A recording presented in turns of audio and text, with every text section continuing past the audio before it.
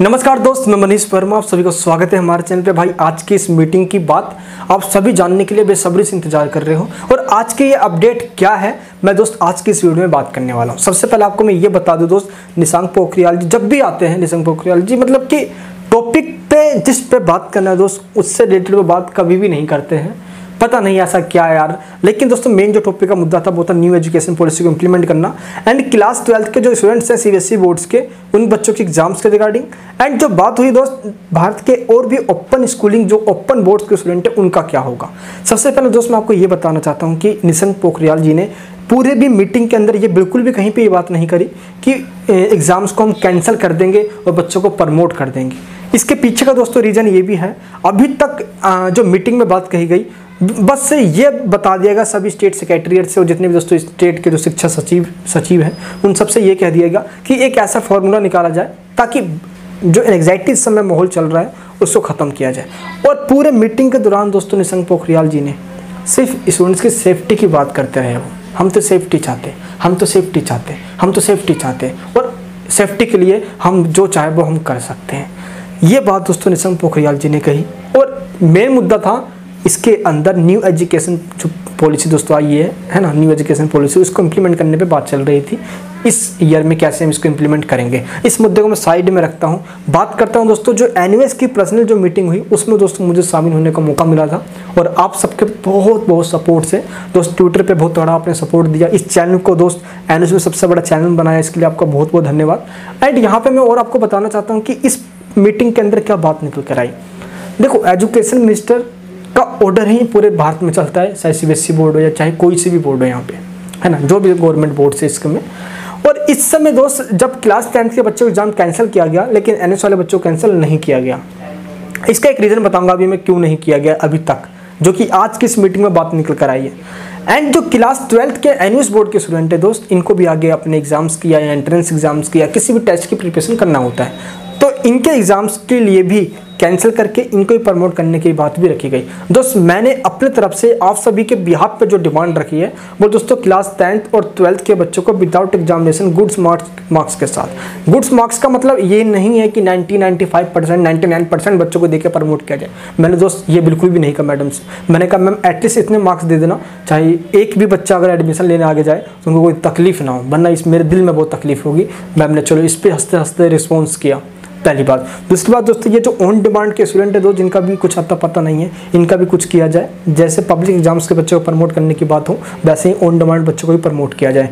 ये दोनों दोस्त, जैसी बात मैंने कही तो तमाम जो बच्चे ने अभी तक टीएमए सबमिट नहीं करवाया है, या टीएमए सबमिट करवा दिया है बट मार्क्स अपडेट नहीं हुए हैं, दोस्त, इन सभी बातों को मैंने मैडम जी के सामने रखा है। और इस बिहार पर जो यहाँ पर रिस्पॉन्स आया है, मैं आपको बहुत खुशी के साथ ये बात बताना चाहता हूँ दोस्त, कि अब मुद्दा बहुत ज़्यादा ये हो चुका है, क्योंकि आपको पता है दोस्त कि मुंबई हाई कोर्ट के अंदर जो पिटीशन दायर किया गया, उसका दोस्तों ज़िक्र किया गया इस मीटिंग के अंदर। और मैडम जी ने ये कहा कि अभी तक टेंथ और ट्वेल्थ एन वाले बोर्ड के बच्चों का फैसला इसलिए नहीं हो पा रहा है, क्योंकि टेंथ सी ने कैंसिल कर दिया। क्यों? क्योंकि उन बच्चों का, यानी कि सी वाले स्टूडेंट्स का जो टेंथ में, उनका मॉक टेस्ट प्री बोर्ड तमाम यूनिट टेस्ट भी हो चुके थे। इसके बिहाब पे उनको दोस्तों इंटरनल असेसमेंट में पास कर दिया गया।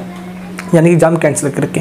एंड जो क्लास ट्वेल्थ के स्टूडेंट है, दोस्त, आगे असेसमेंट्स में, आगे फ्यूचर में कोई दिक्कत ना हो, इस पर पेच अटक गया है सीबीएसई वालों का। यही मुद्दा मैम ने उठाया। लेकिन जो क्लास टेंथ और ट्वेल्थ एन बोर्ड के स्टूडेंट है, दोस्त, उनका सिर्फ़ और सिर्फ़ टी में ही सबमिट हुआ है।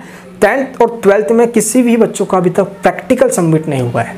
तो जो आपका असेसमेंट का जो स्कीम होगा, यानी कि किस तरीके से आपको मार्क्स दिए जाएँगे, इसमें दोस्तों सिर्फ़ टीएमए के बेस पे आपको उस तरीके से मार्क्स नहीं मिल पाएँगे। और फिर जाके वही दिक्कत आएगी जो लास्ट ईयर आई थी।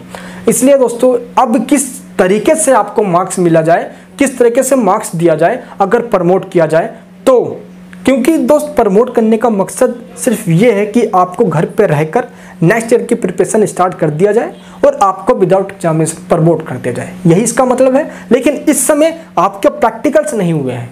दोस्त प्रैक्टिकल ना होना एक बहुत बड़ी वजह बन चुकी है आज की इस मीटिंग के अंदर, क्योंकि इंटरनल असेसमेंट में किस बेस पे हम मार्क्स देंगे, जो दिक्कत आ रही है। दोस्त लास्ट ईयर यानी पिछले बार प्रैक्टिकल और टीए में दोनों हो चुके थे।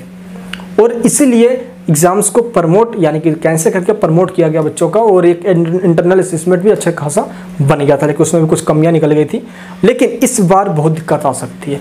लेकिन दोस्त, आपको ये बात पता होना चाहिए कि मुंबई हाई कोर्ट ने जैसे सीबीएसई बोर्ड को कहा है कि बुधवार, यानी कि परसों जो फाइनल डिसीज़न दे, देने वाले हैं वो। सेम दोस्तों इसी तरीके से एन बोर्ड भी इस बात पे ज़िक्र कर रहा है कि आगे क्या करना है। और इसके बिहार पे जो फैसला होगा वो आप सबके इंटरेस्ट में होगा। खुशी की बात दोस्तों ये है कि सरोज शर्मा जी ने बिल्कुल साफ़ लहजों में ये कह दिया है कि एन बोर्ड्स का एक भी स्टूडेंट्स इस बार एनग्जाइटी के कारण से परेशान नहीं होगा। टेंशन मत लेना। हम आप सभी के इंटरेस्ट में जो भी आप अच्छा होगा फैसला हम वही लेंगे। और दोस्तों बीस तारीख को एन बोर्ड का अब फैसला ले लिया जाएगा। ऐसा नहीं कि फैसला आज नहीं हुआ।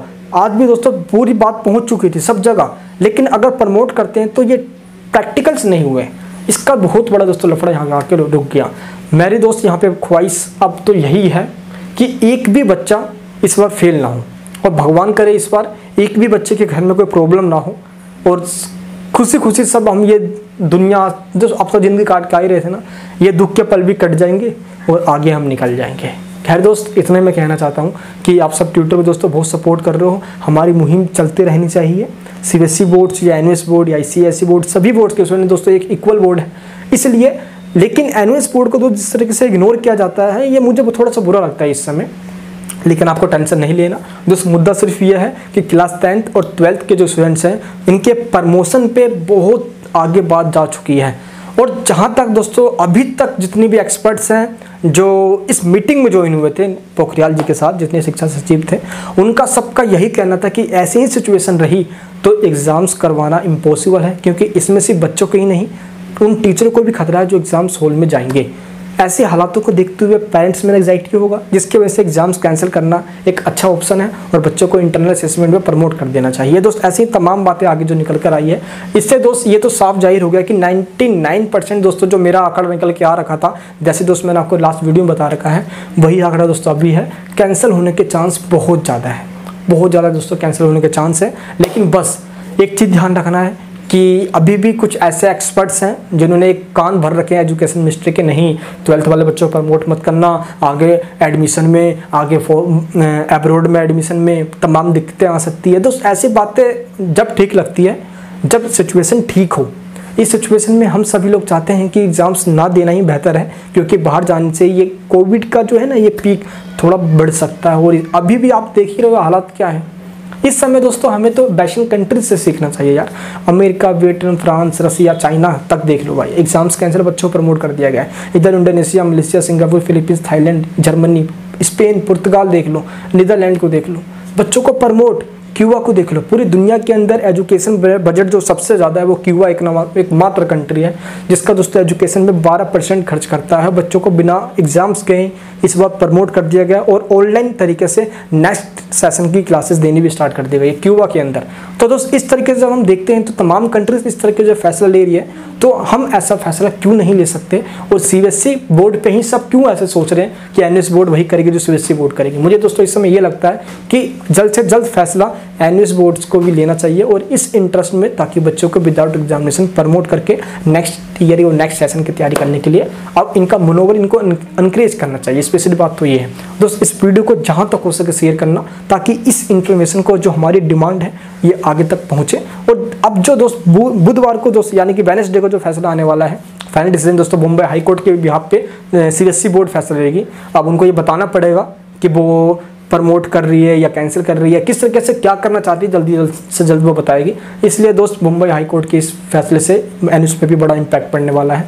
लेटर्स दोस्तों मैंने लिख दिया है पीएमओ को, आप सभी के बिहार पे। मैं दोस्तों आप सभी का बहुत बहुत आभारी हूँ और आप सबके सपोर्ट चाहता हूँ हमेशा के लिए। जैसा दोस्तों आपने हमेशा बरकरार रखा है, इस बार भी दोस्तों अपना सपोर्ट ऐसे बरकरार रखना। ये भाई आपके लिए लड़ता रहेगा।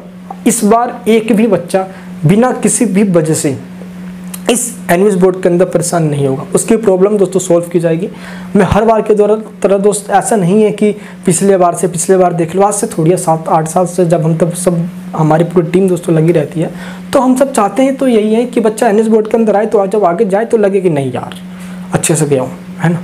विद गाइडिंग्स गाइडिंग नहीं मिलती बच्चा पता नहीं कहाँ कुछ मिस गाइडिंग फंस जाता है। खैर दोस्तों, इन सबसे बचाना अवेयरनेस फैलाना है। इस वीडियो को सब जगह शेयर करना। चाहे पर नए हो तो एनी का एक मात्र दोस्तों यूट्यूब चैनल है जो आप सभी को ऑथेंटिक इन्फॉर्मेशन देता है। सब्सक्राइब करके बेलाइकन ऑन करना। नए हो तो और दोस्तों को भी बताना, ताकि सबको इसके बारे में पता चल सके। बिल्कुल दोस्तों नेक्स्ट वीडियो के अंदर पिटीशन पे और ट्विटर पे रिट्यूट करता रहना दोस्तों। अभी हमारे पास वही हथियार है, क्योंकि हम घर में बाहर जा नहीं सकते। ठीक है? चल दोस्तों, मिलूँगा नेक्स्ट वीडियो के अंदर। अब फाइनल डिसीज़न दोस्तों बीस तारीख को ही आएगा। इससे पहले दोस्त, अब प्रैक्टिकल्स का जो पेज फंसा हुआ है यहाँ पे, इसके ऊपर बात चल रही है। क्या फैसला होता है, क्या डिसीज़न होता है? दोस्त, अभी मैं अपनी तरफ़ से पूरी यहाँ पे आगे आपके बात रखने वाला हूँ। दोस्त, आपकी क्या राय है इस टॉपिक पे? कि प्रैक्टिकल्स नहीं हुए हैं तो क्या प्रमोट नहीं किया जाए? आपकी क्या राय है दोस्त? या प्रैक्टिकल को छोड़ो, सिर्फ़ टीएमए के बेस पे प्रमोट कर दिया जाए। तमाम दोस्तों, आप सबकी राय हो सकती है, मुझे कमेंट बॉक्स में बताना, ताकि आगे मैं आपके बिहाफ पे मैडम से बात कर सकूँ। मिलूँगा दोस्तों नेक्स्ट वीडियो के अंदर। जय हिंद, जय भारत।